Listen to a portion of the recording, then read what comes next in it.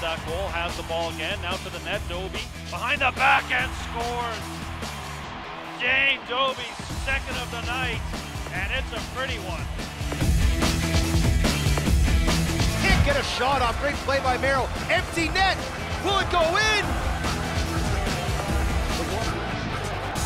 Oh, he scored!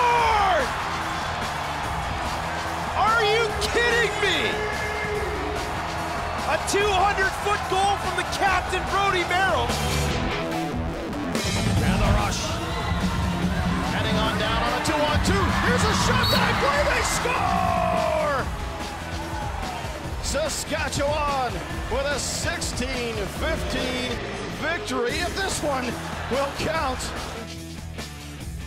Church for McIntosh.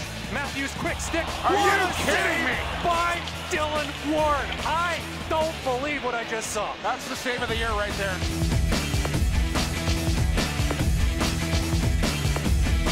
With possession, two game-winning goals this year. He dips under, looks for another, give off to a teammate. This is Dobbie. Dane Dobbie scores!